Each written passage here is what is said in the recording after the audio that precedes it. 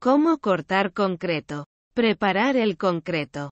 Compra losas de concreto de hasta 15 centímetros. 6 pulgadas. Para las losas más gruesas que miden entre 10 a 15 centímetros. 4 a 6 pulgadas. Espera pagar aproximadamente un dólar más por pie cuadrado.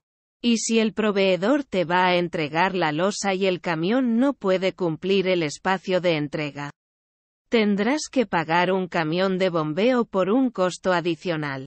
Compra el concreto en las ferreterías domésticas o proveedores locales independientes de concreto. Marca la región a cortar con un trozo de tiza. Para las losas pequeñas de concreto, Usa un trozo de tiza para marcar la región que necesitas cortar. Ya sea que a mano alzada hagas la línea o coloques un cuadrado en la losa. Marca a lo largo del borde recto con la tiza. Quédate con la tiza de color azul y blanco. Otros colores son mejores para usarse en otros proyectos que tardan más de una semana. Designa el área de concreto acabado para cortar usando líneas de tiza.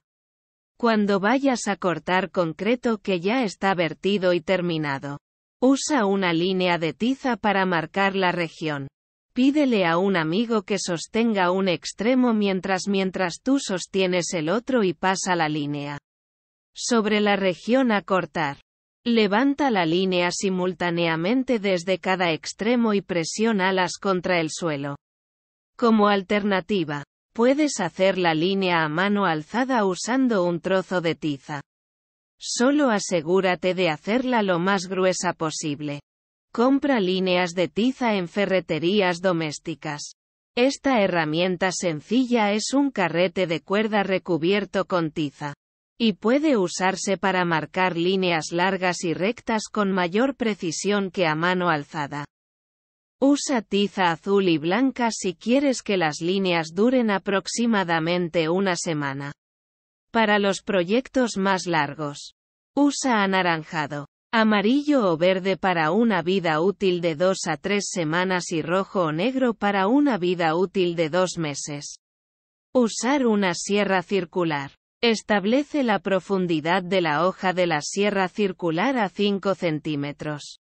2 pulgadas. Libera la palanca de la hoja y mueve la placa base que rodea la sierra hasta que queden expuestos 5 cm. 2 pulgadas. De la sierra. Una vez que la hoja quede en la profundidad adecuada.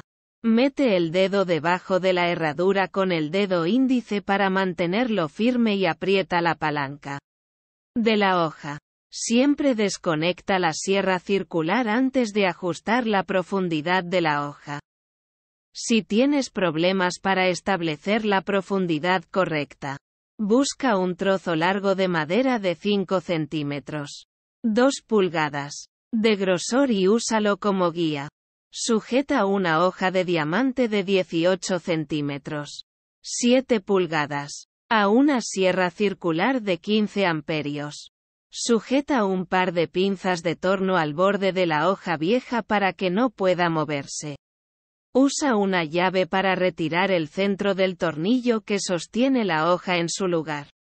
Luego, retira el borde pequeño, también llamado brida debajo de él y saca la hoja vieja.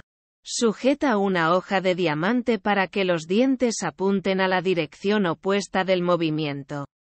Vuelve a sujetar la brida y a apretar el tornillo. Si la hoja de diamante se mueve mientras atornillas la atornillas.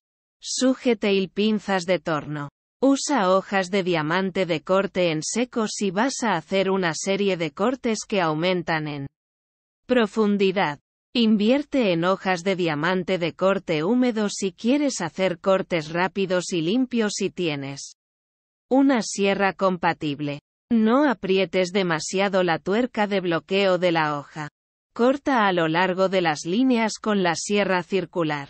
Ponte de rodillas y mira hacia la línea de tiza en un ángulo de 45 grados. Agarra el mango más cercano de la hoja con la mano dominante y úsala para guiar la sierra. Usa la mano dominante para agarrar el mango trasero y empuja la hoja hacia adelante y hacia atrás. Comienza a cortar el borde del concreto y lentamente sigue la línea de la tiza. No presiones la hoja contra el suelo. Deja que el peso de la hoja y la sierra hagan el trabajo. Retira la hoja cada 30 a 45 segundos para evitar el sobrecalentamiento. Si no vas a usar una hoja de diamante de corte húmedo y la sierra funciona con gas. Vierte agua en la hoja mientras que cortas para reducir el polvo y la temperatura de la hoja. Una manguera de jardín muy baja es perfecta para esto. Siempre usa protección ocular cuando uses una sierra circular. Usar una sierra de corte. Marca las líneas de corte en el concreto usando las líneas de tiza o con un trozo de tiza. Para líneas perfectamente rectas, usa una línea de tiza. Agarra uno de los extremos y pídele a un amigo que agarre el otro. Mantén la línea aproximadamente a 0,61 metros. Dos pies. Sobre la región a cortar. Con un movimiento rápido. Levanta la línea de la tiza aproximadamente 0,30 metros. Un pie. Y presiónala para que toque el suelo y marca con tiza una línea recta. Si vas a hacer a mano alzada la línea con tiza, asegúrate de que sea lo más gruesa posible. Para una vida útil de la tiza de una semana. Usa colores azul y blanco. El anaranjado, verde y amarillo duran de dos a tres semanas. Mientras que el rojo y el negro duran alrededor de dos meses. Sujeta una hoja de diamante de corte húmedo de 36 centímetros. 14 pulgadas. A una sierra de corte. Fija un par de pinzas de torno al costado de la hoja vieja para evitar que gire. Destornilla el tornillo central en el medio de la hoja con una llave. Ahora, retira la pequeña pieza del borde, llamada brida, debajo y saca la hoja vieja. Sujeta la hoja de diamante, cuidando que los dientes apunten en la dirección opuesta al corte. Finalmente, vuelve a sujetar la brida y el tornillo. Fija un par de pinzas de torno a la hoja de diamantes y se mueve mientras vuelves a sujetar el tornillo. Ajusta la profundidad de la hoja de la sierra de corte. Si vas a usar una sierra de corte, es probable que cortes concreto entre 10 a 15 centímetros. 4 a 6 pulgadas. De profundidad. Afloja la palanca de la hoja para liberarla y ajusta la placa base alrededor de la sierra hasta que quede expuesta la cantidad correcta de la misma. Después de que la hoja quede en la profundidad correcta, coloca tu dedo índice debajo de la placa base para mantenerla en su lugar y aprieta la palanca de la hoja. Para ayudarte a ajustar con precisión la profundidad. Coloca la sierra en una pieza larga de madera tan gruesa como la profundidad deseada. Deja que la hoja cuelgue hacia abajo por un lado y úsala como guía. Corta a lo largo de las líneas de tiza en la configuración de revoluciones por minuto. RPM. Más baja. Inclina la sierra a 45 grados hacia el concreto y colócate ligeramente a la izquierda de la sierra. Para que también quedes de frente a la línea de corte en un ángulo de 45 grados.